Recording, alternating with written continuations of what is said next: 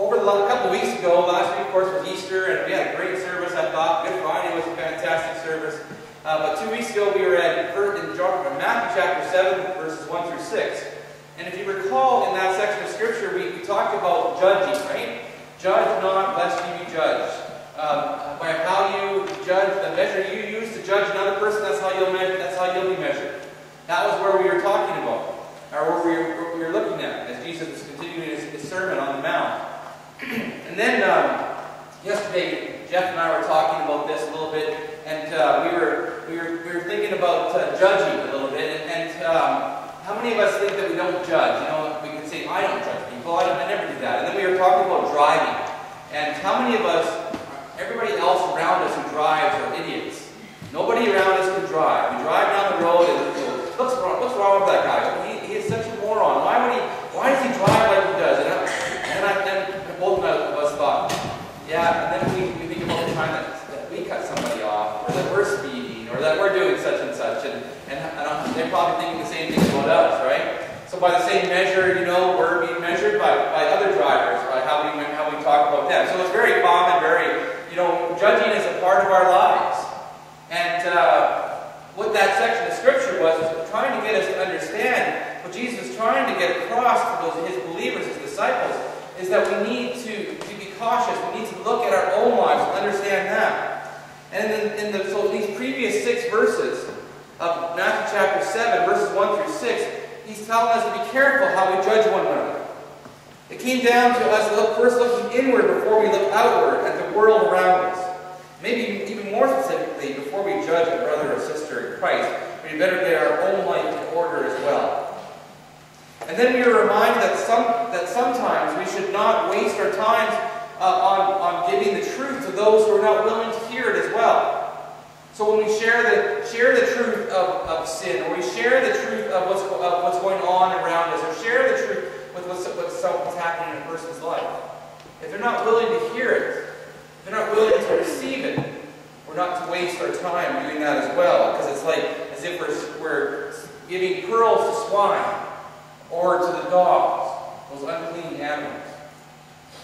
And, it, it, they'll just end up tearing it up and, and, and throwing it back at us.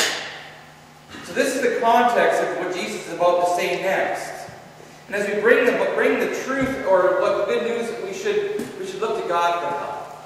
And that's what this next section of Scripture is, is, letting, is letting us see. In verse 7 through 12 of Matthew's Gospel, chapter 7, we see that, that the first verses is our con, first six verses are our context. These next six verses are how we go about being able to do that. How we're to go about being able to not judge. How we're about to go, how we're not to, to look first, how we're to look inward first and be able to let God reveal to us what's in our life first before we go and preach and proclaim to others what's going on in their life.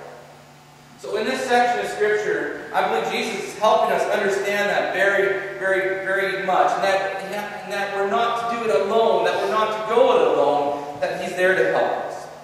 Matthew chapter 7, verse 7 to 12, we read, Keep asking, and it will be given to you. Keep searching, and you'll find. Keep knocking, and the door will be opened to you. For everyone who asks receives, and the one who searches finds, and to the one who knocks, the door will be opened. What man among you, if his son asks him for bread, will give him a stone? Or ask for a fish, and will give him a snake? If you then, who are evil, know how to give good gifts to your children, how much more will your, your Father in heaven give you good things to those who ask him? Therefore, whatever you want others to do for you, do also the same for them. This is the law of the prophets. That section of Scripture is an interesting section of Scripture. It's been used for very many different things. It's usually referring to prayer and looking at prayer, and I think that's, that's appropriate. But it also has a little bit more to it than that, and especially when you take it into context with the whole chapter, especially the first six verses of the chapter. And it helps us to understand that. And, and apart from the first six verses, verse 12 would be a little confusing, I believe. So we, we need to keep, put, keep, keep it in context. Anytime we look at Scripture, anytime we look at God's Word, it's always important to look at what's going on around the verses to get, get, get a better understanding of what's going on in the verses that we want to, for example, they can be taken out of context, and they can be taken and to mean lots of different things that, that are they're not intended to mean.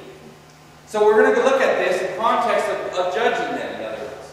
So if you're how we judge others, how we look at other people, how we look at our own life, how we look inward and, and to take care of our own our own life. And really what we see here is really what I can what I see here, and I understand here after reading commentaries studying this passage of Scripture, it's about our relationship with God. And it's a very natural progression of that relationship. Verse, well, verse 7 of our, our text this morning is the, very much the progression of that relationship. If you desire to move closer to God, there must be a natural movement towards Him. We cannot stay at a distance. We cannot expect that when we that, that if we when we come to Christ, when we receive Him as Savior, that we can stay in that place for the rest of our relationship. Like any other relationship we. When we come and we get to know somebody, and we get close to somebody, if we only ever just become that, that just that person they've met and, and we never grow closer, then that relationship never, get, that relationship never grows, grows deeper, does it? In other words, we have a lot of acquaintances. We never have that deep relationship. When I think of my wife and, and, uh, and our relationship, how we were when we met 30 years ago, it's that long ago. Some of you aren't even that old, right? But we met 30 years ago. And if all I did was look at her and see her at church, as she sat in the pew, as she came from, from uh, Vancouver to go to the University of Alberta, and I saw this beautiful blonde girl with this gorgeous, this gorgeous blonde that came to our church, and uh, I, I, said, I, I went and introduced myself to her and said, "Hi, my name is Dennis," and that was it. My relationship would not have grown much closer. I had to go and bug her. I had to go and she and she had an interesting landlady where she was living. She lived just about five or ten blocks away from where I lived. And she had this interesting landlady that would just never leave her alone and, and it was it was terrible. It was a terrible situation for her. So she asked my father one day if it would be okay. I'm not sure how the, how it got to this point, but she said, Can I come to the church and, and, and study at the church so I can get my get prepared for class and everything. And she needed a lot of study because, you know, she was, well, she, she was that person that, never mind, that, that, that's another story. But she, she needed to study and she needed to have that time by herself so that she could focus on her, on her schoolwork and get her projects done. You know, the hard, hard work of a home ec student. And, uh, and she, so she had all these different projects and things, and she, she needed some time and space. And so, as a good young man that I was, and, and an interested, interested in, in this beautiful blonde girl that came to our church, I, I said, well, you know, I'm going to go and seek her out. I'm going to go and, and, and, and hang out a little bit and get to know her a little better and get to get to see who she's who she is and, and talk to her. And so so I would go over when she was at the at the church and I'd bug her and I'd sit and, and talk and you know just chat it up. I was you know I'm, and, and I'm not really a chatty guy. Lily and I had this conversation even yesterday. I'm not I'm not the type of person that really sits and I'm not small talk is not my is not my best thing. In fact, it, I it, I'd like to just come and just give you the information you give me the information, and then we're done, and that's great. I got then I, I know what I'm doing, and I, I can go with that. So this was a lot of work for me, but I was seeking her out. I was trying to get to know her and get to understand her and get closer to her. See, if I ever, if I just was too shy and I, I sat on the other side of the church with my mom, and, and I always sat with my mom on, on Sunday mornings, and uh, my, dad, my dad would preach, and I would sit there, and I just looked at her at a distance and waved occasionally, and, and you know, we did get introduced. I did introduce myself to her, and and that, but I began to seek her out. And then I, and, and, so what I also would do to seek her out is I would say, ask my dad, I said, can I go pick her up for church? And you pick up the old ladies for church, you know, we'll switch roles a little bit here, you know. Uh, so he said, okay, you, I'll go get, I'll go get Miss Eva suit, and, and you can go get our dad. And I, I said, okay, that's a great, great plan. So then I was, I seeking her out a little bit more, right? I didn't know, getting to know her, and, and you know, it's like, well, and, and then you have that time between her where she was living and church, and I get to talk to her a little bit more and seek, seek out a little bit more information and get to know her. She didn't have a boyfriend at the time, but that didn't bother me. I figured she's away, she's in Vancouver, she's fair game. But so I, so I, I guess pursued this, you know, I, I kept going for this, this, this, this relationship. And so then, moved a little bit further along, and I remember one Saturday she was at the church and she was studying and she was working hard. I didn't know what she was doing. I didn't really care. I wanted to pay attention to what she was doing and for homework. I didn't care that she had to study either, really. I was there, I had a purpose. Next, I knew that I had to ask her out. So, I spent the whole day, you know, we started talking, and it's like, what are you doing tonight? Oh, not much, no, no, me neither. And uh, so, so I said, eventually, I said, you know, would you like to go to a movie? So I asked her. And then we, and so that, that relationship got going over. Now, she says, she swears to this day, she figured we were going as a group. So we went home, and she came over to my house, which the church was, was uh, the church house, our, our, our manse was right next door. And we went to, she came over and had dinner with us and stuff, and we were getting ready to go to the movie. My little sister, the rock little thing that she is, she says, I'm going to the movie too. I said, no, you're not going to the movie. And then so we, uh, we had this little discussion, uh, argument with my, my little sister, because I wanted, to, I asked Ardell to go. I wanted to get to know her more. I wanted to get her to know her better. And I, I didn't want my little sister hanging out with me. She was 11 months younger than I am. I failed grade two, and from grade two on, she was she was with me all the time. She was in my same grade and, and, everything. And so in junior high school, she was even in some of my same classes at time. And then she, and then we got to high school, and then, and now I, I met this girl that's in university. I'm in grade 11, and I'm thinking, this is awesome. I, I'm, I'm going to be the good man on campus. I'm going to be the cool guy. I've asked this girl out. She's now said that she'll go to the movie with me, and and and, and so we're getting it's progressing a little bit further. So then, we had to go leave Ardell in, in the living room, and my dad and I had to go have a conversation with my little sister and explain to her that she wasn't coming. And uh, so, we go to the movie, and we and you see how the progression of the relationship is. We went to watch Chariots of Fire, and uh, it was a great movie. And uh, I spent the whole movie, whatever length of time, 90 minutes, an hour and a half of, of movie, sitting there going, do I grab her hand? Do I not grab her hand? Do I grab her hand? Do I not grab her hand? Do I grab her hand? Do I not grab her hand? So finally, by the end, by near the end of the movie, I finally went and grabbed her hand. and, and, and, you know, she, she left it there the whole time on the on the on the on the armrest, right? For the whole time. It's like, come on, take take take take. And, finally, I took, I took control. And, I, and, I, and so basically, I, I began. I finally got from that that, that, that introduction of getting, uh, and then that seeking, and then I got to the asking, and then I finally got to that knocking. And I was in between grade, in the summer of grade 11, and between grade 11 and grade 12. I worked, began to work for the Naval Reserve. It's all very corporate, I'm writing this thing. And I, and I worked hard that summer. I went on, on basic training, and I, I made enough money that I could buy my wife this huge ring well diamond chip. And, uh, and, and, you know, I was, and, and, I, and it was so exciting. I first went and bought a ring, and my, my lovely older sister, I have three older sisters, one of them decided to talk to Ardell on the phone somehow and, I don't, and, and tell her what ring I bought her. And so I said, I take the ring back, and I bought a different ring. And so that she would know what it would look like. And, and then I went out to Vancouver that summer. She was out there at home for the summer. And I, and I went, and we, she picked me up at the airport. We went to it for a drive, and uh, she said she, she knew I had the ring. And uh, I said, oh, I forgot. And, uh, and so we, we went and said, let's go for a drive, go to the park. We went to Bears Creek Park.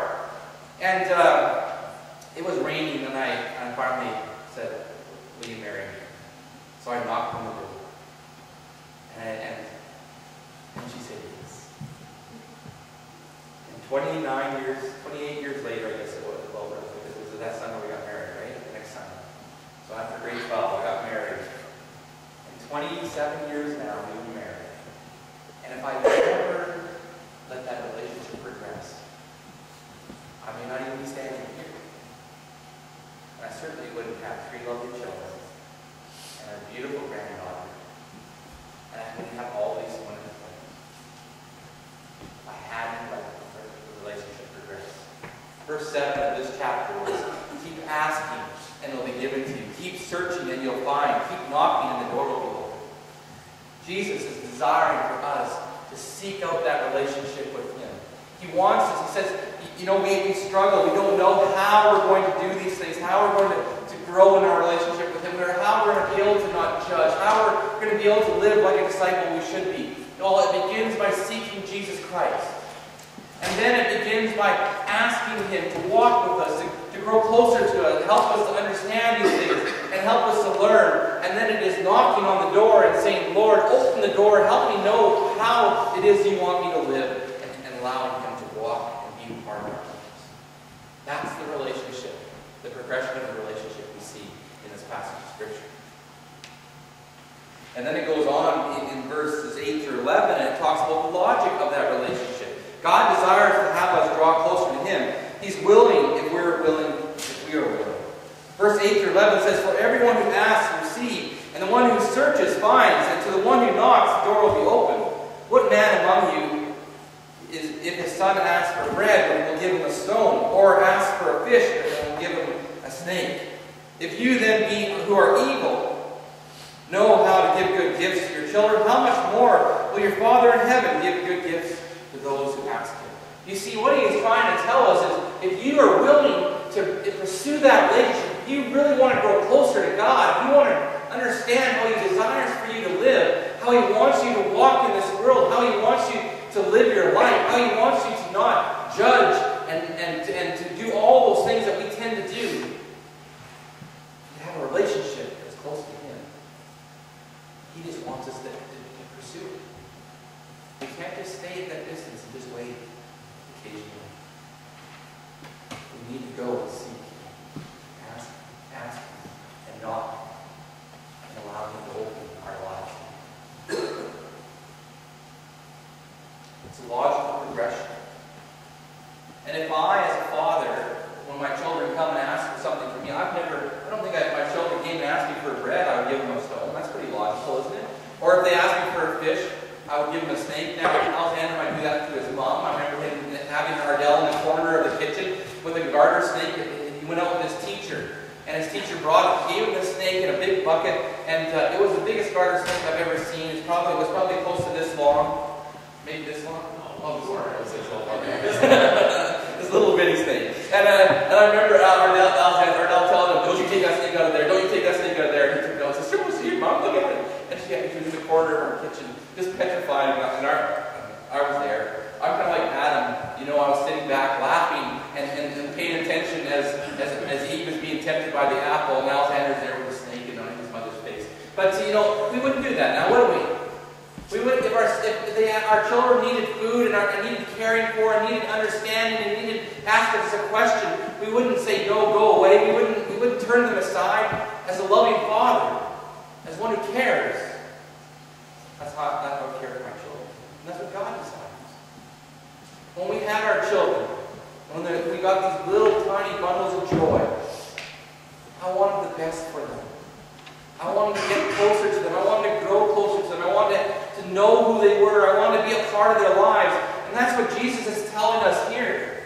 Is that God has a true desire for us to seek Him out, to ask Him, to knock on the door, to grow closer to Him. He doesn't want just a superficial acquaintance that He comes, that comes on a Sunday once and for, for an hour and just hangs out with the, with, with the rest of the church people and, and just and, and prays occasionally. He wants someone that is close to Him.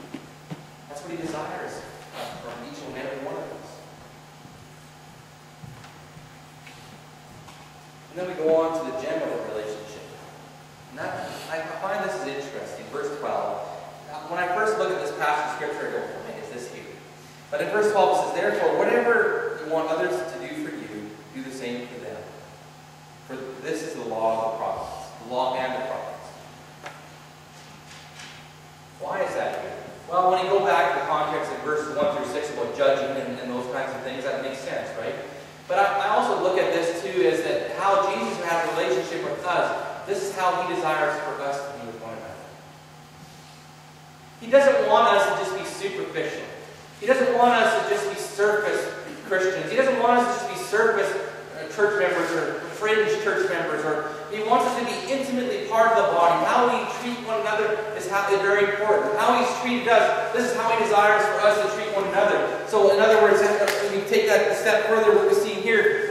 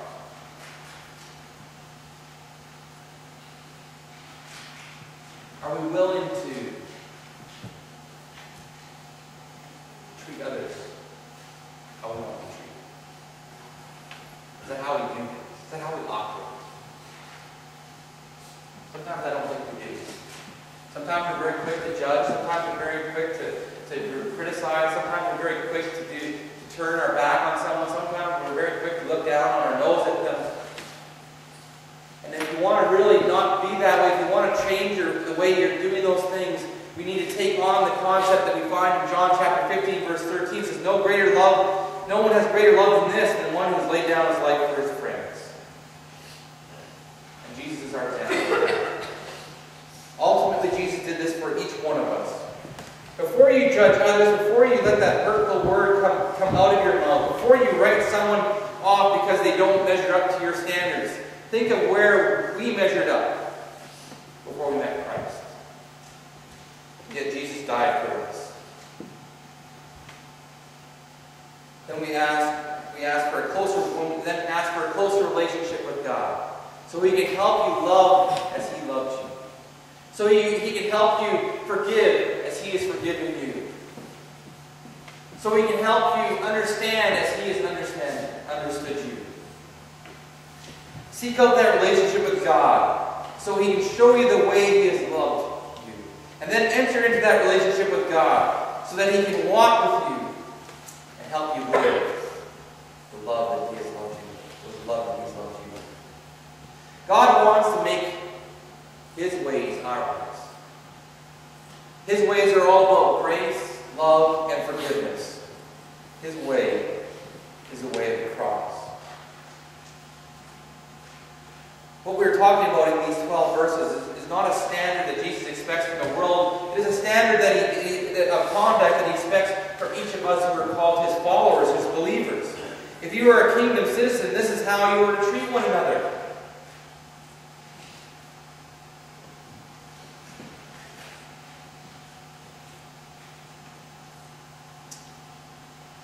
You may have not have the right attitude.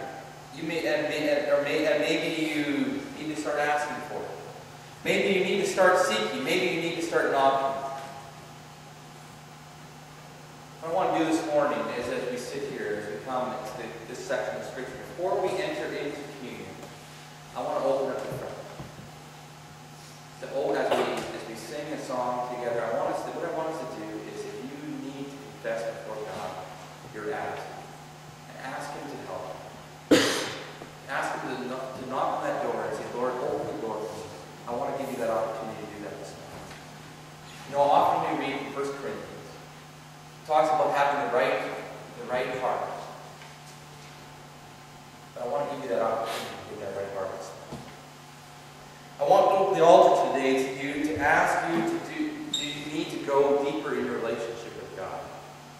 Have you stalled your relationship with God? Do you you want to go deeper in your relationship with God? Is it it's getting beyond just asking or just seeking? It's time to knock and let the door be open to you so we can take you to place where you've never been. Where whatever you want of others to, others to do for you, you do the same for them.